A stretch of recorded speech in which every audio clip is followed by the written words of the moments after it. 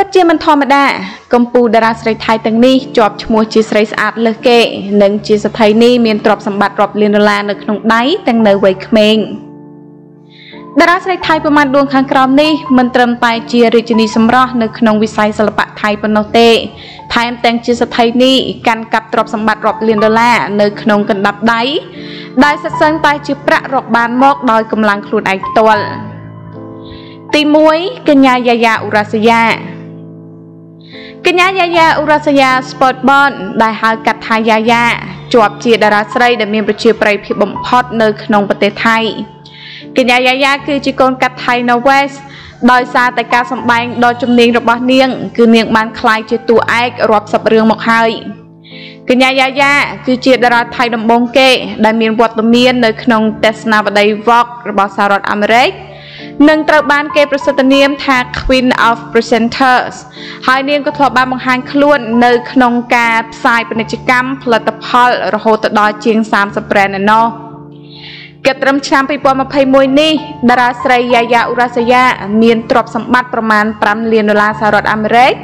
នៅក្នុងអាយុ27ឆ្នាំ ទី2តារាស្រីបេឡារ៉ានី កញ្ញាបេឡារ៉ានីគឺជាតារាសម្ដែងកូនកាត់ថៃអង់គ្លេសមួយរូបដែលបានចូលប្រឡូកជាតារា model ដំបូងកាលពីឆ្នាំ2011បន្ទាប់ពីចុះកិច្ចសន្យាជាមួយស្ថានីយទូរទស្សន៍ប៉ុស្តិ៍លេខ3ថៃកញ្ញាបេឡាបានក្លាយជាតួឯកនៅក្នុងរឿងផុនព្រមអលវែងរឿងភាគទូរទស្សន៍នេះទទួលបានចំណាត់ថ្នាក់ខ្ពស់បំផុតទី5នៅក្នុងចំណោមរឿងភាគផ្សេងទៀតកាលពីឆ្នាំ2013 ភាពប៉ិនប្រសប់នៅក្នុងការសម្ដែងបានធ្វើឲ្យនាងក្លាយជាតារាស្រី ដែលមានផលិតករហៅថតច្រើនជាងគេនៅក្នុងប្រទេសអំឡុងពេលនោះកញ្ញាបាឡាបានឈ្នះពានរង្វាន់ជាច្រើនដូចជាពានរង្វាន់តារាស្រីលេចធ្លោពានតារាសម្ដែងស្រីឆ្នើមនិងពានរង្វាន់ផ្សេងផ្សេងទៀតនៅក្នុងឆ្នាំនេះដែរកញ្ញាបាឡារនីគឺជាម្ចាស់ទ្រព្យសម្បត្តិប្រមាណ5លានដុល្លារសហរដ្ឋអាមេរិក។ ទី3តារាសម្ដែងស្រីមុកដាណារិនរ៉ាក់កញ្ញាមុកដាជាប់ឈ្មោះជាកំពូលតារាស្រីស្អាត និង sexy ហើយក៏ជា idol នៃមនុស្សជាច្រើននៅក្នុងប្រទេសថៃកញ្ញាមុកដាគឺជាអតីតក្រុម Miss Thailand ដែលបានចូលប្រឡូកនៅក្នុងវិស័យសិល្បៈកាលពីឆ្នាំ2016នាងក៏ជាអតីតអ្នករាំម្នាក់ដែលបានឈ្នះការប្រកួតរាំដ៏ល្បីល្បាញ To be Number 1 Idol នៅក្នុងឆ្នាំ2012 នៅក្នុងអាជីពជាតួសម្ដែងភាពយន្តនាងចាប់ផ្ដើមនៅអំឡុងឆ្នាំ2016បន្ទាប់ពីបានចុះកុងត្រាជាមួយស្ថានីយទូរទស្សន៍ប៉ុស្តិ៍លេខ7ថៃនៅក្នុងឆ្នាំ2020កញ្ញាមុកណាបានបន្តកុងត្រាជាមួយស្ថានីយទូរទស្សន៍ប៉ុស្តិ៍លេខ7ថៃរយៈពេល5ឆ្នាំបន្តទៀត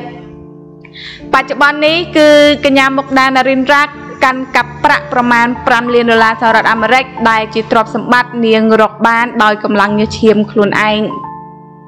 ទី4តារាស្រីជម្ពូអារិយា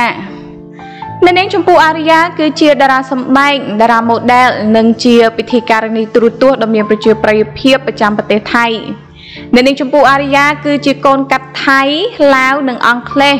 ដែលតារាកូនពីររូបនេះលេចមុខនៅក្នុងសិល្បៈដំបងកាលពីឆ្នាំ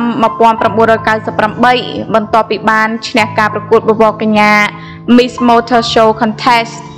ក្រោយក្រោយមកទៀតនៅនាងចម្ពូអារិយាកាន់តែលេចធ្លោនៅក្នុងដំណែងជាតួឯកនៅស្ថានីយទូរទស្សន៍ប៉ុស្តិ៍លេខ7ថៃ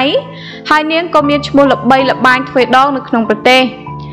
សប្តាហ៍ថ្ងៃនៅនាងចម្ពូអារិយារៀបការរួចហើយដោយមានកូនប្រុសភ្លោះ2នាក់និងកំពុងតែពពោះកូនស្រីម្នាក់ទៀតហើយនាងក៏ជាម្ចាស់ទ្រព្យផ្ទាល់ខ្លួនប្រមាណ5លានដុល្លារសហរដ្ឋអាមេរិកផងដែរទី5តារាសម្ដែងស្រីនុនវរណុត អ្នកនាងនុនវរណុតគឺជាតារាសម្ដែងថៃដ៏មានប្រជាប្រិយភាពមួយរូបដែលបានបង្ហាញខ្លួននៅក្នុងខ្សែភាពយន្តខ្នាតធំនិងរឿងភាគថៃជាច្រើនតារាស្រីរូបនេះបានចាប់ផ្ដើមអាជីពសម្ដែងតាំងពីឆ្នាំ1995មកម្លេះ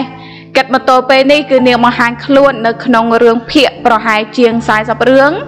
និងរឿងខ្នាតធំចំនួន2រឿង ទន្ទឹមនឹងគេឈ្មោះនិងភាពល្បីល្បាញអ្នកនាងនុនវរណុតក៏បានឈ្នះការតែងតាំងជាច្រើនថែមទាំងទទួលបានពានរង្វាន់ផ្សេងទៀតផងដែរនៅក្នុងឆ្នាំ2004នាងបានឈ្នះពានរង្វាន់តារាសម្ដែងស្រីនាំមុខគេនៅក្នុងឆ្នាំ2021នេះអ្នកនាងនុនវរណុតគឺមានទ្រព្យសម្បត្តិតខ្លួនប្រមាណ5លានដុល្លារសហរដ្ឋអាមេរិកទី6តារាស្រីតៅណាតផន កញ្ញាតៅណាតផនគឺជាកូនកាត់ថៃចិន ដែលនាងទទួលបានភាពល្បីល្បាញបន្ទាប់ពីលេចមុខនៅក្នុងការផ្សាយពាណិជ្ជកម្មឲ្យផលិតផលទៅដល់គោចិនជាមួយនឹងរូបរាងដ៏ស្រស់ស្អាតនិងការសម្ដែងគួរឲ្យតាក់ទាញធ្វើឲ្យនាងទទួលបានការពេញចិត្តពីសំណាក់មហាជន ត្រឹមរយៈពេលខ្លីបន្ទាប់ពីនោះមកនាងក៏បានចុះកុងត្រាថតជាមួយស្ថានីយទូរទស្សន៍ប៉ុលេខ3ថៃសម្រាប់កម្មវិធីទូរទស្សន៍និងភាពយន្តជាច្រើនរឿង កញ្ញាតៃណតផនធ្លាប់ឈ្នះពានរង្វាន់ Female Rising Star នៅក្នុងឆ្នាំ2008ហើយបន្តទទួលបានពានរង្វាន់និងការតែងតាំងជាច្រើនទៀតតាមរយៈអាជីពរបស់នាងកាលពីឆ្នាំ2020កន្លងទៅកញ្ញាតៅណតផលនិងតារាសម្ដែងប្រុសចេមជីរយុបានឈ្នះពានរង្វាន់ Thai Crazy Awards Best Couple Award ហើយមកទល់នឹងឆ្នាំ2021នេះគឺតារាស្រីរូបនេះមាន ប្រាក់ប្រមាណ5លានដុល្លារសហរដ្ឋអាមេរិកដែលជាទ្រព្យរកបានដោយខ្លួនឯងទី7កញ្ញាអំផាចរាផាថ្មីត្បិតតែមានវ័យជាង40ឆ្នាំក៏ដោយក៏កញ្ញាផាចរាផានៅតែគ្រងតំណែងជាតារាស្រីដ៏មានប្រជាប្រិយភាពបំផុតរបស់ប្រទេសថៃកញ្ញាអំផាចរាផាកើតនៅទីក្រុងបាងកកប្រទេសថៃ ដែលនាងបានចូលប្រឡូកនៅក្នុងវិស័យ model និងកំសាន្តតាំងពីឆ្នាំ1997មកម្លេះ នាងទទួលបានភាពល្បីល្បាញភ្លាមភ្លាមបន្ទាប់ពីឈ្នះការប្រកួតមួយដែលមានឈ្មោះថា Hacks នៅក្នុងឆ្នាំ2003កញ្ញាអំផាចរាផាបានដើរជាតួឯកនៅក្នុងរឿងសូស្នេហាដែលនាងបានឈ្នះពានរង្វាន់ Top ឆ្នាំ2003សម្រាប់តំណែងតារាសម្ដែងស្រីនាំមុខគេកញ្ញាអំផាចរាផាក៏បានជាប់ឆ្នោតជានារី sexy បំផុតរបស់ FHM 3ឆ្នាំជាប់គ្នា នៅឆ្នាំ2004ដល់ឆ្នាំ2007ក្រៅពីការសម្ដែង នាងក៏ជាសហគ្រិននៅក្នុងពិភពជំនួយផងដែរដែលបច្ចុប្បន្ននាងមានភោជនីយដ្ឋានមួយនៅក្នុងប្រទេសថៃនិងបានបង្កើតម៉ាកទឹកអប់ផ្ទាល់ខ្លួនដំបូងរបស់ប្រទេសថៃយីហោ Celeb ដែលផលិតនៅប្រទេសបារាំងគិតមកត្រឹមឆ្នាំ2021នេះតារាស្រីថៃអំផាចរាផាគឺជាម្ចាស់ទ្រព្យសម្បត្តិប្រមាណ12លានដុល្លារសហរដ្ឋអាមេរិកឯណោះ ចាក់ក្រឡេកមកមើលទី8វិញគឺតារាសម្ដែងស្រីម៉ៃដាវីកាកញ្ញាម៉ៃដាវីកាត្រូវបានមហាជនស្គាល់ថាជាតារាសម្ដែងថៃដ៏មានប្រជាប្រិយភាពដែលបានក្លាយជាតួឯកនៅក្នុងរឿងភាគទូរទស្សន៍ដំបូងកាលពីឆ្នាំ2010បន្ទាប់ពីទទួលបានភាពជោគជ័យនៅលើស្ថានីយទូរទស្សន៍កញ្ញាម៉ៃដាវីកាចូលប្រឡូកនៅក្នុងខ្សែភាពយន្តខ្នាតធំល្បីៗដូចជារឿង Pima រឿង Heart Attack និងរឿង Suddenly 20 ត្រឹមវ័យ27ឆ្នាំតារាស្រីកូនកាត់ថៃបែលសាច់រូបនេះគឺអាចរកប្រាក់ចំណូលបាន5លានដុល្លារសហរដ្ឋអាមេរិកទៅហើយហើយកញ្ញាម៉ៃដាវីកាក៏ជាតារា model ដ៏ល្បីឈ្មោះដែលតំណាងម៉ាកយីហោអន្តរជាតិប្រណិតប្រណិតជាច្រើន ដូចជា L Orels, Michael Kors, Dolce និង Gabbana ជាដើមចានឹងក្រឡេកមកមើលតារាស្រីទី9ចុងក្រោយគឺកញ្ញាបៃហ្វឿនភីមចនុក កញ្ញាបៃហ្វឿនភីមចនុកដែលត្រូវបានគេស្គាល់ថាបៃហ្វឿនគឺជាតារាស្រីថៃល្បីឈ្មោះមួយរូបដែលបានបង្ហាញខ្លួនជាលើកដំបូងនៅក្នុងឆ្នាំ2010ដែលកាលនោះគឺនាងបានចុះកុងត្រាជាមួយស្ថានីយទូរទស្សន៍ពលិ7ថៃចាប់ពីឆ្នាំ2010ដល់ឆ្នាំ2016ក៏ប៉ុន្តែចាប់ពីឆ្នាំ2017មកតារាស្រីរូបនេះក៏បានផ្ដាច់ខ្លួនคล้ายជាតារាស្រីឯករាជ្យវិញដែលនាងបានឈ្នះពានរង្វាន់នាតារាចាពីរដង នៅក្នុងឆ្នាំ2017និងឆ្នាំ2020សម្រាប់តួសម្ដែងឆ្នើមនៅក្នុងរឿងលួងផ្សៃនិងរឿង Fallen Leaves គិតមកទល់ពេលនេះគឺតារាស្រីបៃហ្វឿនភីមចនុកមានប្រាក់ប្រមាណ5លានដុល្លារសហរដ្ឋអាមេរិកនៅក្នុងកណ្ដាប់ដៃផងដែរដែលជាប្រាក់ក៏ដូចជាទ្រព្យសម្បត្តិនាងរកបានដោយខ្លួនឯង ចាពុកម៉ែបងប្អូនទាំងអស់គ្នាចាសម្រាប់ព័ត៌មានមួយនេះគឺពិតជាគួរឲ្យចាប់អារម្មណ៍ខ្លាំងមែនទែនតែម្ដងតកតងទៅនឹងតារាសម្ដែងស្រីថៃល្បីល្បីចំនួន9ដួង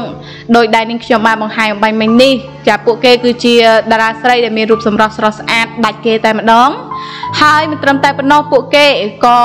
មានទ្រព្យសម្បត្តិរាប់លានដុល្លារនៅក្នុងកណ្ដាប់ដៃទាំងនៅវ័យក្មេងទៀតដែលជាទ្រព្យសម្បត្តិពួកគេរកបានមកដោយកម្លាំងញើសឈាមខ្លួនឯងផ្ទាល់